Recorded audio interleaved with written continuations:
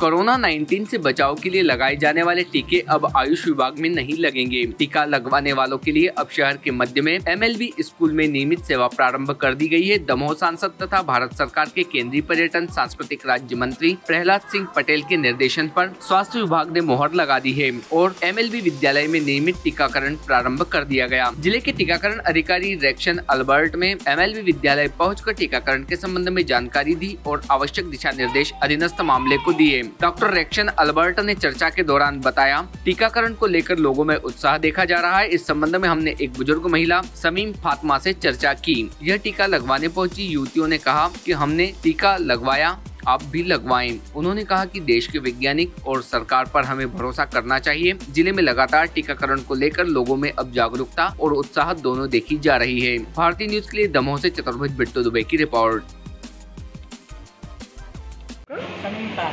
समीम फातिमा। माता जी आपने अभी आज वैक्सीन लगवाए यहाँ आकर कैसा लग रहा? कोई परेशानी तो नहीं? अच्छा लगा? आपकी तरफ़ से एक संदेश हो जाए सबके लिए कि वैक्सीन लोग नहीं लगवा रहे हैं। तो क्या कहेंगे आप?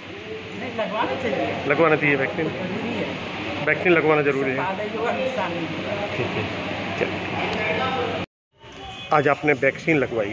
कैसा लगा? बहुत अच्छा लग रहा है मुझे। और कोई इन्फेक्शन नहीं हुआ वैक्सीन लगाने से। अभी पाँच जस्ट पाँच मिनट ही पहले लगाए मैं आज सामने खड़ी हुई हूँ आपके। और जो मैं बताना चाहती थी जो अभी वैक्सीन नहीं लगवाई है वो लोग भी आए और वैक्सीन लगवाएँ। और ये सरकार पर भरोसा करें और वैज्ञानिकों पर भी भरोसा करें। से बचाव के लिए वैक्सीनेशन का काम तेज़ी गति से चल रहा है। और चौराहे कि अब ये महारानी लक्ष्मीबाई स्कूल है जो, ये परमानेंट कर दिया गया है वैक्सीन सेंटर के लिए। जी। एक्चुअली अभी हमारे दमोह में पहले तीन सेंटर्स चल रहे थे टीकाकरण के लिए, जिसमें आयुष, जिला चिकित्सालय भी था और एमएलवी और डीटीसी डिस्ट्रिक्ट ट्रेनिंग सेंटर जो कि बड़ी कॉलोनी में है। क्योंकि अब आयुष अस्पताल को भी चालू होना है और वहाँ पे रिनोवेशन का कार्य होना है तो हमने पूरा जो परमानेंटली अपना एमएलबी को ही टीकाकरण केंद्र बना लिया है। और चूँकि वो शहरों के बीच भी बीचों बीच भी है तो आसानी भी जाएगी पब्लिक को आने जाने में। ये वैक्सीन जो है आ, कितनी लग चुकी होगी लगभग अभी तक ज़िले में? आ, अभी तक हमारे जो टोटल डोज हैं वो एक लाख तिरपन हज़ार लगभग लग चुके हैं जिसमें से कि हमारे जो सेकेंड डोज की संख्या है वो लगभग छब्बीस हज़ार है। एक संदेश चाहेंगे क्योंकि वैक्सीन में और गति आ जाए आपकी तरफ़ से?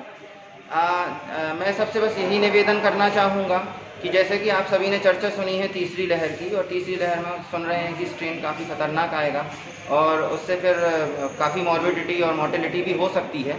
तो मेरा सभी से यही निवेदन है, पुनः मैं यही निवेदन करूँगा कि आप सभी लोग आगे बढ़कर आएँ, साथ दें, स्वास्थ्य विभाग का टीकाकरण करवाएँ। 18 से प्लस के जितने भी व्यक्ति हैं, सभी लोग आएँ। बस अगर आपको बुखार है, सर्दी है, जुकाम है, या आपको दस्त हुआ है, या आप गर्भवती महिला हैं, उस कंडीशन में आपको वैक्सीन लगवाने नहीं आना है। बाकी सभी लोग वैक्सीन लगवाने के लिए आइए।